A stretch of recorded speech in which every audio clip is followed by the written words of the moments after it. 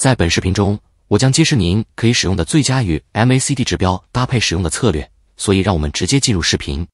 移动平均线收敛发散指标也被称为 MACD，是交易者使用最简单和最受欢迎的指标之一。本质上，它是一个趋势跟踪指标，显示了两条移动平均线之间的关系。首先，我们将其应用到我们的图表上。您需要进入指标部分，输入 MACD，并点击顶部的那个。现在，在开始之前，我们首先需要了解 MACD 的工作原理。我们可以看到，MACD 有四个组成部分。首先，我们有这两条线：MACD 线和信号线。请注意这两条线的区别：MACD 线移动更快，对价格变化更敏感，这将是 MACD 指标的主要焦点。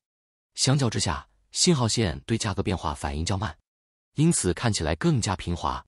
接下来，我们有柱状图，代表了 MACD 线和信号线之间的差异。例如，如果 MACD 线越过下方，柱状图会变红；如果 MACD 线越过信号线上方，柱状图会变绿。MACD 线和信号线之间的差距也会影响柱状图的大小。如您所见，如果两条线靠得越近，柱状图就会越小；如果两条线相距越远，柱状图就会越大。最后，我们有零线。它简单的表示了 MACD 指标的中心。现在，交易者利用该指标识别动量的方式是通过观察 MACD 线和信号线的交叉。让我给您举个例子：如果它越过下方，则表明市场处于下降动量中；如果 MACD 线越过信号线上方，这表明市场处于上升动量中。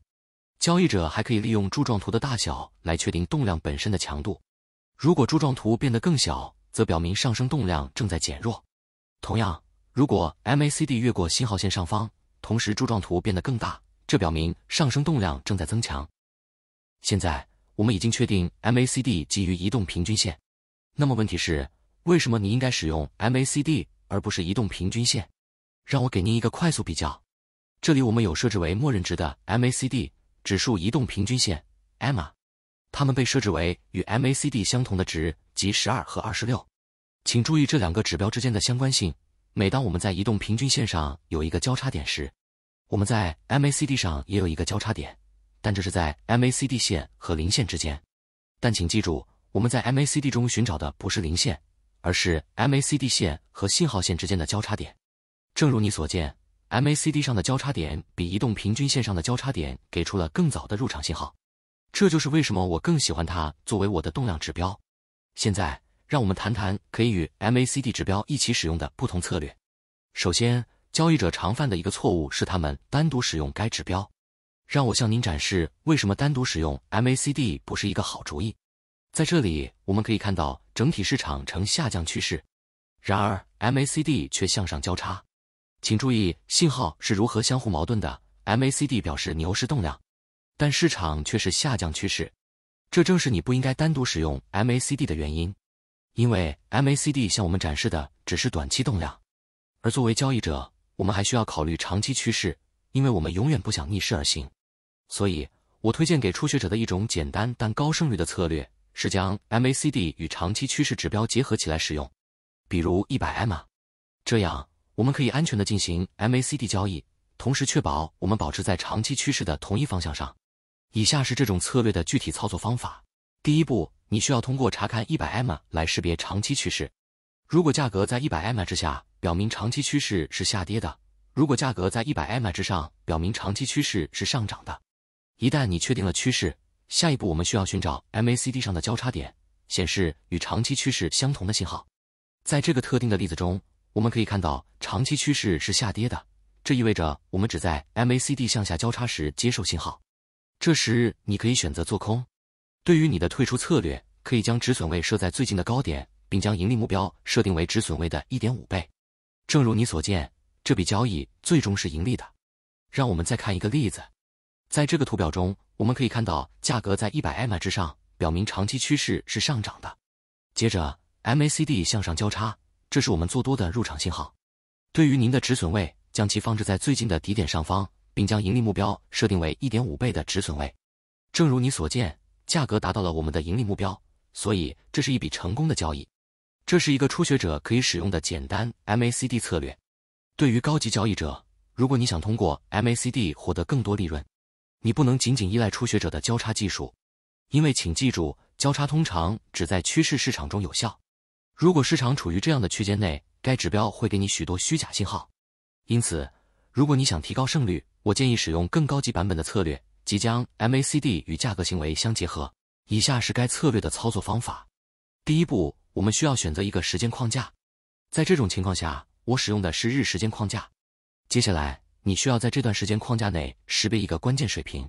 如您所见，价格下跌后反转向上，所以我们可以在下方画出一条支撑线。下一步，你要等待价格再次接近同一个关键水平。一旦发生这种情况，我们预计价格将向上反转。然而，仅仅因为价格触及了一个关键水平，并不能保证一定会发生反转，因为关键水平并不是魔法价格，总是可能突破。这就是为什么我们需要额外的确认来确保确实存在向上动量。当价格触及这个区域时，就是 MACD 指标发挥作用的时候。大多数交易者会实际等待 MACD 向上交叉，然后再做多。但是这样做的话，请注意向上的运动已经完成，你将会迟到入场。所以我使用的一个秘密技巧是通过更小时间框架，就是四小时来获得更早的入场信号。我现在在日线图表上。所以，让我们缩小到四小时图表。这是四小时图表。我们所需要做的，就是在新的较小时间框架上等待 MACD 向上交叉。此时，你可以选择做多。现在，让我们回到日线图表，比较两个入场信号。现在，我们回到了四小时时间框架。请注意，如果你使用来自四小时时间框架的交叉信号，你将在这一点进入交易；但如果你使用来自日线框架的交叉信号，你将在这一点进入。尽管两笔交易最终都盈利了，较小的时间框架交叉仍然给了我们更早的入场信号。让我们再看一次这个策略。这里是比特币的日线时间框架，往左看，我们可以看到价格下跌，然后反转向上，使其成为一个关键支撑水平。现在，当价格再次回到这个水平时，我们要确认，当价格触及这个区域时，确实存在向上动量。所以，再次缩小至四个时间框架。并应用 MACD 指标。现在，我们只需要使用 MACD 来确认看涨动量，等待它向上交叉。一旦发生这种情况，你就做多。现在，让我们回到日线时间框架，应用我们的退出策略。